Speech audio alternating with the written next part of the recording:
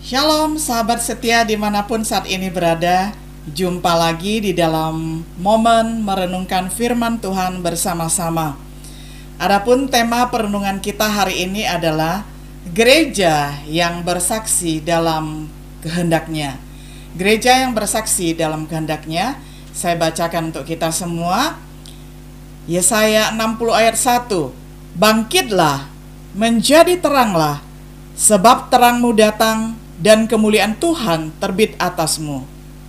Lalu dari Matius 5 ayat 13, Kamu adalah garam dunia. Jika garam itu menjadi tawar, dengan apakah ia diasinkan? Tidak ada lagi gunanya selain dibuang dan diinjak orang. Kemudian dari Matius 5 ayat 14 sampai 16. Kamu adalah terang dunia. Kota yang terletak di atas gunung tidak mungkin tersembunyi. Lagi pula, orang tidak menyalakan pelita lalu meletakkannya di bawah gantang, melainkan di atas kaki Dian, sehingga menerangi semua orang di dalam rumah itu. Demikianlah hendaknya terangmu bercahaya di depan orang, supaya mereka melihat perbuatanmu yang baik dan memuliakan Bapamu yang di surga. Dan kemudian saya bacakan lagi dari 2 Korintus 3 ayat 2 sampai 3 dan 2 Korintus 2 ayat 14 sampai 15. Kamu adalah surat pujian kami yang tertulis dalam hati kami dan yang dikenal dan yang dapat dibaca oleh semua orang. Karena telah ternyata bahwa kamu adalah surat Kristus yang ditulis oleh pelayanan kami, ditulis bukan dengan tinta tetapi dengan roh dari Allah yang hidup. Bukan pula pada loh-loh batu, melainkan pada loh di pada loh-loh daging yaitu di dalam hati manusia. Tetapi syukur bagi Allah yang dalam Kristus selalu membawa kami di jalan kemenangannya dengan perantaraan kami ia menyebarkan keharuman pengenalan akan dia di mana-mana sebab bagi kami Allah adalah bau yang harum dari Kristus di tengah-tengah mereka yang diselamatkan dan di antara mereka yang binasa. Sahabat setia yang dikasih oleh Tuhan, eklesia artinya gereja. Gereja itu adalah yang pertama pemahamannya bukanlah sebuah gedung. Pemahaman gedung gereja itu adalah hal yang sekunder. Boleh tidak ada gedung, tetapi kita bisa beribadah di mana-mana. Jadi pemahaman tentang gereja yang bersaksi kita mulai dari gereja itu adalah eklesia yakni orangnya. Artinya adalah gereja adalah kumpulan orang yang dipanggil keluar dari kegelapan menuju kepada terang Tuhan yang ajaib, terangnya yang ajaib. Jadi hakikat gereja yang bangkit yang bersaksi selalu terkait dengan pertumbuhan dan tugas kesaksiannya. Jadi tugas gereja yang utama itu adalah bersaksi. Nah, kita akan belajar dan kita akan lakoni empat tugas gereja yang bersaksi di dalam kehendaknya.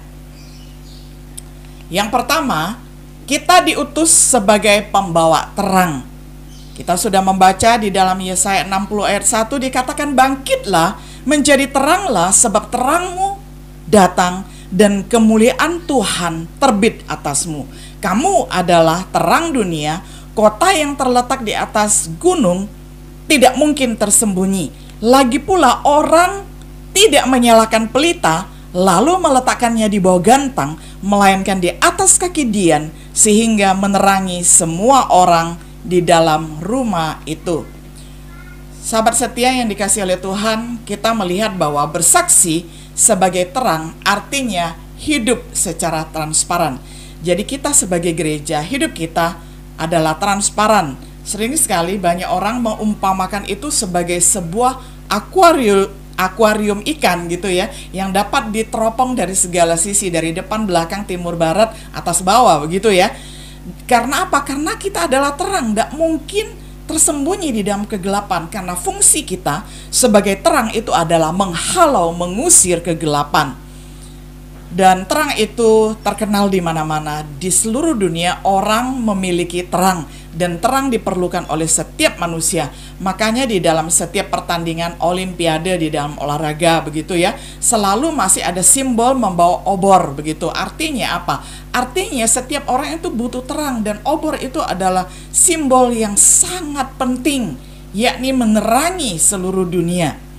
Nah, bagaimana sebagai saksi Tuhan sebagai gereja yang bersaksi, kita menjaga agar terang kita tidak redup, melainkan terang kita tetap terhubung, tetap terkonek dengan sang sumber terang itu, yakni Yesus sendiri yang adalah sumber terang, yang adalah terang dunia dan kita juga bersaksi sebagai terang dunia. Allah adalah terang, maka gereja adalah anak-anak terang. Nah, sekarang pertanyaannya adalah berapa watt, berapa kuat terangmu? Apakah cuma 3 watt, 5 watt, 10 watt, 50 watt, atau 100 watt terang sekali begitu. Jadi kalau kita menjalankan fungsi kita sebagai pembawa terang, hidup kita tidak ada yang gelap, hidup kita senantiasa mencerminkan kasih Kristus, niscaya tidak ada orang yang tersandung. Nah, tapi sayang sekali di dalam sejarah ada orang yang tersandung karena uh, sebagian orang Kristen tidak menjadi saksi yang baik. Sebagian orang tidak menjadi saksi yang baik. Nah, gambar yang ditampilkan ini adalah contoh salah seorang yang pernah tersandung. Dia terlahir dengan nama Claesius Marcellus Clay. Lahir tahun 17 Januari 1942. Dan pasti sebagian kita sudah tahu ketika uh, layar televisi masih hitam putih. Ya dulu pun saya suka menonton pertandingan tinju begitu ya. Nah dia adalah petinju legendaris terlahir dengan nama yang sangat manis Cassius Marcellus Clay. Dia adalah orang yang beribadah di gereja. Nah tetapi kenapa akhirnya di dalam hidupnya dia berganti nama dan kemudian dia uh, meninggal dengan meninggalkan iman kekristenan itu karena dia tersandung oleh sesama orang Kristen. Ketika di Amerika masih berlaku ras kulit hitam dan kulit putih, dia suatu ketika kebelet ingin buang air kecil di toilet. Nah, karena masih rasisme, jadi ada toilet untuk kulit hitam dan ada toilet untuk kulit putih. Nah, pas pada waktu dia kebelet hendak uh, pipis begitu ya, hendak uh, buang air kecil, dia melihat bahwa toilet untuk dirinya yang berkulit hitam itu full semua, jadi dia nggak ada tempat. Nah, tahu sendiri bagaimana rasanya kalau kebelet gitu ya. Nah, dia melirik yang di sebelahnya itu adalah yang toilet untuk kulit putih ternyata kosong. Maka cepat-cepat dia masuk ke sana dan dia buang hajat di situ, buang air kecil. Tetapi belum selesai dia buang air kecil, apa yang terjadi? Tiba-tiba dari belakang ada seorang kulit putih yang menendang dia sampai dia terguling-guling Bayangkan perasaannya pada saat itu. Dan sejak saat itulah dia memandang orang Kristen itu tidak dapat menjadi saksi dan akhirnya dia meninggalkan kekristenan. Ini adalah contoh bahwa ada orang-orang tertentu yang tersandung karena orang Kristen tidak bisa menjadi pembawa terang sehingga akhirnya mengecewakan orang termasuk contoh ini ya. Akhirnya dia meninggal dengan nama sebagai Muhammad Ali. Nah, yang kedua, tugas kita, kita diingatkan bahwa kita adalah sebagai gereja yang bersaksi, gereja yang diutus sebagai pembawa rasa. Firman Tuhan Matius 5 ayat 13 mengatakan, "Kamu adalah garam dunia. Jika garam itu menjadi tawar, dengan apakah ia diasinkan? Tidak ada lagi gunanya selain dibuang dan diinjak orang." Saudara, setiap hari kita pasti mencicipi garam Kecuali kalau kita puasa garam begitu ya. Nah, makanan yang tidak ada garamnya terasa hambar sekali, nggak enak. Tetapi kalau ada garam sedikit saja rasanya enak, ya rasanya enak sekali. Nah, garam memberi rasa kepada dunia. Garam mengawetkan dunia bukan hanya mengawetkan ikan asin, tetapi mengawetkan dunia karena fungsi kita sebagai pembawa rasa kita ini memberi rasa kepada orang lain, menuntun orang lain kepada Kristus, menuntun orang lain kepada pengenalan akan Tuhan sehingga dunia ini menjadi lebih baik. Itu artinya fungsi kita sebagai garam dunia mengawetkan dunia. Nah, garam yang kita pakai biasanya garam Madura gitu ya. Karena di uh, Jawa Timur dan di Indonesia banyak sekali memproduksi garam ya dan yang terkenal adalah garam Madura. Nah, garam Madura tidak sama dengan garam Timur Tengah. Makanya firman Tuhan tadi mengatakan tidak ada lagi gunanya selain dibuang dan diinjak orang kalau garam itu sudah menjadi tawar. Nah, pernah nggak garam menjadi tawar? Kalau garam Madura tidak pernah menjadi tawar karena apa? Karena udah menjadi cair pun tetap kalau diicip tetap asin. Nah, tetapi garam Timur Tengah bagaimana? Ternyata pada waktu saya pergi ke Timur Tengah dan melewati daerah Sodom dan Gomora, di situ terkenalkan ada satu tiang garam yakni istrinya Lot yang menjadi tiang garam. Nah, di situlah uh, di dekat Laut Mati akhirnya saya paham ya bagaimana tentang garam yang dimaksudkan oleh Tuhan Yesus bisa menjadi tawar. Ternyata di Timur Tengah orang membawa karang-karang yang dilekati garam itu dibawa pulang dan kemudian kalau mau memasak maka garam yang asin itu yang dari air laut itu yang dimasukkan ke dalam kuali untuk dimasak sedangkan karang ketika sudah dirontoki semua sudah tidak ada garamnya lagi nah itu yang maksudnya kalau garam sudah menjadi tawar begitu ya. Jadi itu adalah karangnya. Nah, kita tidak terpanggil sebagai karang. Kita terpanggil sebagai garamnya ya yang memberi rasa itu kepada dunia ini. Jadi kalau selama ini kita hanya menyamar ya mengaku saja sebagai orang Kristen tetapi kelakuannya tidak memberi rasa kepada orang di sekeliling kita, kita akan dibuang seperti karang yang sudah tidak ada rasa itu tadi, sudah hambar, tidak memberi warna, tidak memberi rasa, tidak mengawetkan dunia di sekeliling kita. Nah, jadi garam ini mencegah kebusukan. Jadi kalau setiap orang seperti kita yang uh, mendengarkan firman Tuhan dan yang melakukan firman Tuhan, merenungkan firman Tuhan itu siang dan malam, kita mengajak banyak orang yang seperti kita, maka akan mengawetkan orang. Dunia tidak cepat-cepat menuju kepada pembusukan, tidak akan cepat-cepat menuju kejahatan yang akhirnya akan dibinasakan. Itu artinya orang Kristen memberi rasa kepada sesamanya. Orang Kristen mengawetkan dunia. Sekarang pertanyaannya, berapakah asinmu? Masih asinkah atau sudah tawar? Mari kita cek kembali rasa kita ya, apakah kita masih sebagai garam dunia. Saudara, seandainya kalau kita semua sadar akan tugas kita membawa rasa kepada sesama kita, maka kita akan terhindar lagi untuk menjadi batu sandungan bagi orang lain. Nah, ternyata di dunia uh, ada satu ketika orang yang sangat terkenal di dunia yakni bernama Mohandas Karamchand Gandhi yang sering sekali terkenal dengan nama Mahatma Gandhi dia adalah seorang yang sangat mengagumi ajaran Injil, ajaran Alkitab. Dia sangat terkesan dengan khotbah Yesus di atas bukit. Kata berbahagialah, berbahagialah, berbahagialah engkau yang membawa damai, berbahagialah engkau yang dianiaya, berbahagialah engkau yang lemah lembut dan sebagainya. Dia membayangkan menjadi orang Kristen itu pasti indah, cantik, elok, membawa rasa, menjadi terang dan Alangkah indahnya menjadi orang Kristen. Maka akhirnya dia pun menanggalkan bajunya, dia memakai kemeja, dia membawa Alkitab, dia pergi ke gereja. Satu minggu dia pergi ke gereja ya. Pada suatu hari minggu dia pergi ke gereja. Nah tetapi ketika sampai di pintu gerbang gereja, para aser, sang penyambut tamu mengatakan, Pak, Pak, Pak, stop dulu. Mungkin Bapak ini salah gereja kalau yang kulit berwarna seperti Bapak ini gerejanya bukan di sini, tapi di seberang sana tuh.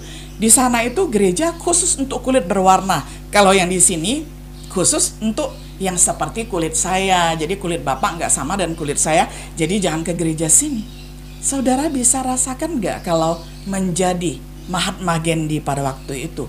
Baru saja mau menjadi orang Kristen, tetapi dia tersandung karena penolakan, karena orang Kristen tidak bisa menjadi pembawa rasa, karena orang Kristen tidak mencerminkan kasih Kristus. Tuhan Yesus mengajarkan mengasihi sesama, tetapi orang Kristen menolak sesamanya dan menggolong-golongkan gereja. Ini gerejaku, itu gerejamu ini gerejaku dengan kulit warna tertentu, dengan etnik tertentu, itu gerejamu dengan etnik tertentu dan dengan bahasa tertentu. Saudara, apakah ini yang menjadi gereja yang bersaksi? Saya rasa tidak demikian. Gereja yang bersaksi adalah kita mengasihi yang namanya sesama manusia dari golongan apa pun, siapa pun, strata apa pun.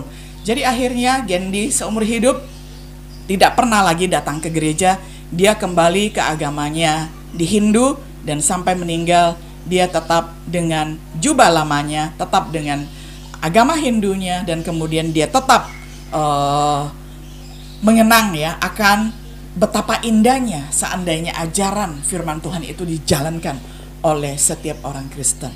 Nah, saudara, sangat disayangkan bukan? Jadi ini adalah fungsi gereja yang kedua. Fungsi yang ketiga, saudara, kita diutus sebagai surat Kristus. Kamu adalah surat pujian kami yang tertulis dalam hati kami dan yang dikenal dan yang dapat dibaca oleh semua orang karena telah ternyata bahwa kamu adalah surat Kristus yang ditulis oleh pelayanan kami, ditulis bukan dengan tinta tetapi dengan roh dari Allah yang hidup, bukan pada loh-loh batu, melainkan pada loh-loh daging, yaitu di dalam hati manusia. Nah, ini adalah surat Rasul Paulus kepada jemaat di Korintus yang begitu banyak talenta bahwa dalam kehidupan kekristenan kita kita jangan hanya membanggakan apa yang menjadi kelebihan kita, kepintaran kita, kekayaan kita dan sebagainya, tetapi jadilah surat Kristus. Artinya apa? Artinya surat itu adalah surat Kristus yang terbuka yang bisa dibaca oleh semua orang.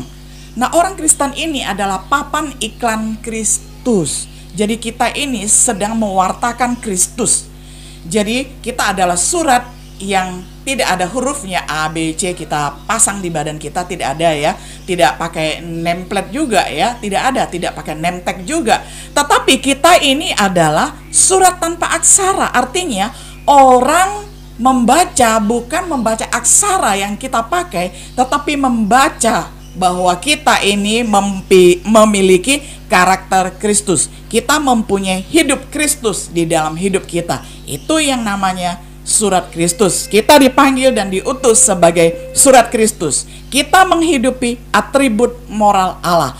Allah Maha Kasih, maka kita memiliki kasih. Allah Maha Kuasa, kita mempunyai kuasa. Allah itu adalah Allah yang Maha Adil, kita bisa bersikap adil. Yaitu adalah atribut moral Allah. Kita uh, memiliki atribut moral Allah itu hanya saja bedanya adalah Allah pencipta dia serba maha dan kita tidak serba maha tetapi kita menyandang image of God, kita mempunyai gambaran Allah, jadi kita bisa melakukan. Kalau Allah Maha Kasih, kita bisa mengasihi. Kalau Allah Maha Adil, kita bisa bersikap adil. Kalau Allah berkuasa, kita, Maha Kuasa, kita mempunyai kuasa. Ya, nah jadi ini sangat indah sekali. Tetapi sekarang pertanyaannya, seberapa jelaskah suratmu dibaca oleh orang? Nah, saudara, mungkin saat ini kalau kita uh, generasi milenial gitu ya, sudah jarang sekali memakai surat. Seandainya kalau Paulus hidup di zaman kita, saya berpikir dia akan mengatakan bahwa kita ini diutus sebagai gadgetnya Kristus. Karena apa? Karena sekarang orang tidak memakai surat lagi ya, surat yang terbuat dari kertas. Kebanyakan orang sekarang pakai email ya, mengirim teks lewat internet kan begitu ya. Nah, uh, handphone kita pun yang bisa dipegang itu sudah terlalu biasa begitu. Nah, sekarang gadgetnya begitu canggih ya, era digital ya, di era revolusi uh, eh, 4.0 ya. Jadi ini luar biasa kita melihat kita diutus ini sebagai gadget Kristus, gadget sudah begitu canggih, bisa dipakai waktu mandi, ya kan? Uh, dan fungsi gadget di dalamnya termasuk ada uh, surat, ya. Jadi melalui hidup kita, kita bagaikan gadget yang bisa dibaca orang. Orang bisa mendownload, mengupload, ya, dari hidup kita. Nah, apakah kita mempunyai fungsi sebagai pembawa berita? sebagai messengernya Kristus, sebagai pembawa berita keselamatan, sebagai pembawa berita baik kepada Kristus. Kiranya ya semoga kita menjadi orang yang diutus sebagai surat atau sebagai gadget Kristus. Nah, seandainya kita menjalankan fungsi kita dengan baik, mungkin uh, hari ini tidak ada gereja setan.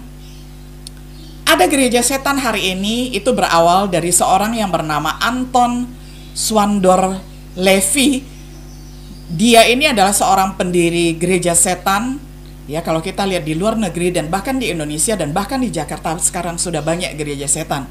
Nah, pada mulanya Levi ini adalah seorang yang taat beribadah, bahkan dia adalah seorang pelayan di gereja. Nah, tetapi di dalam pengalamannya, Levi melihat bahwa pria Kristen hidup di dalam kemunafikan. Hari Senin sampai hari Sabtu, ya hidupnya itu bejat tetapi ketika tiba hari Minggu, semua berpura-pura saleh, semua berpura-pura baik datang ke gereja. Dia muak sekali melihat banyak sekali pria hidup di dalam kemunafikan sehingga akhirnya dia merintis gereja setan. Karena di dalam gereja setan orang bebas berbuat dosa, ya. Bahkan diwajibkan berbuat dosa supaya tidak ada kemunafikan. Nah, saudara ini mengerikan sekali. Sekarang gereja setan ini menjadi setrunya Allah ya, menjadi setrunya orang Kristen. Karena apa? Karena dia menjatuhkan, dia mendoakan kejatuhan orang Kristen. Nah, kiranya kita waspada di sekeliling kita ya, di Jakarta ya, di kota besar di Indonesia sudah begitu banyak gereja setan. Ini berawal dari seorang bernama Anton Swandor Lavi yang tersandung karena melihat orang Kristen banyak yang munafik oleh karena itu, mari kita kembali kepada hakikat kita sebagai surat Kristus, sebagai gadgetnya Kristus, pembawa berita baik itu. Tidak ada kemunafikan di dalam diri kita. Yang keempat, kita diutus sebagai parfum Kristus. Nah, ini yang jarang sekali dikhotbahkan. Saya bacakan untuk kita semua dari 2 Korintus 2 ayat 14 sampai 15. Tetapi syukur bagi Allah yang dalam Kristus selalu membawa kami di jalan kemenangannya dengan perantaraan kami, ia menyebarkan keharuman pengenalan akan dia di mana-mana. Sebab bagi kami Allah adalah bau yang harum dari Kristus di tengah-tengah mereka yang diselamatkan dan di antara mereka yang binasa. Saudaraku, ternyata fungsi kita selain sebagai terang, sebagai garam, sebagai surat atau gadget Kristus, lalu kita adalah sebagai parfum Kristus ya Ingat ya kita uh, dipanggil dan diutus menjadi gereja yang bersaksi dengan empat tugas ini sebagai parfum Kristus. Nah, apakah saya mengada-gada dengan mengatakan bahwa kita dipanggil sebagai parfum Kristus? Saya tidak mengada-ngada. Karena apa? Karena di dalam suratnya Paulus ditujukan kepada jemaat di Korintus dikatakan bahwa jemaat murid Tuhan, orang percaya, orang Kristen itu adalah pembawa harumnya Kristus. Nah, kalau yang bersifat harum bukankah sering sekali dipancarkan oleh parfum? Nah, jadi kalau kita membawa keharuman Kristus, jadi tugas kita ini adalah sebagai parfum Kristus. Parfum itu memiliki daya pesona, daya tarik yang luar biasa. Nah, parfum Kristus ini tidak dapat dikemas di dalam botol atau diperjualbelikan, tidak bisa. Kita ini adalah parfum yang hidup karena apa? Orang melihat nilai kita, orang melihat karakter kita, orang melihat hidup kita, kesaksian kita. Makanya kita tidak dikemas di dalam botol, ya. Nah, saudara, uh, parfum yang termahal di dunia pun ya tidak bisa dibandingkan dengan parfum Kristus. Karena harum Kristus ini hanya dapat diperoleh dari persekutuan kita secara pribadi dengan Kristus. Sekarang pertanyaannya, saya dan saudara harum nggak? Kita memancarkan nggak kasih Kristus? Kita mengasihi sesama kita nggak? Kita mengabarkan nggak keharuman Kristus? Atau malah karena kelakuan kita yang busuk, nama Yesus juga akhirnya menjadi busuk. Padahal nama Kristus asalnya adalah sangat harum dan kita bertugas diutus sebagai pembawa harum, sebagai pembawa parfumnya Kristus. Nah, kita bandingkan dengan uh, parfum yang termahal di dunia ya, sekilas saja ya itu mereknya. Nah, itu adalah parfum yang termahal di dunia bernama DKN Y Golden uh, Delicious ya. Nah, harganya sangat mahal, yakni sekitar 13,2 triliun. Itu pun dirilis pada tahun 2011. DKNY membungkus parfum ini dalam botol berbentuk apel berwarna emas uh, bekerja sama dengan pembuat perhiasan terkenal untuk menciptakan parfum spesial yang berbeda dari parfum lainnya. Nah, pantesan begitu mahal ya sampai 13,2 triliun ya karena botolnya saja begitu mahal ya, apalagi parfumnya.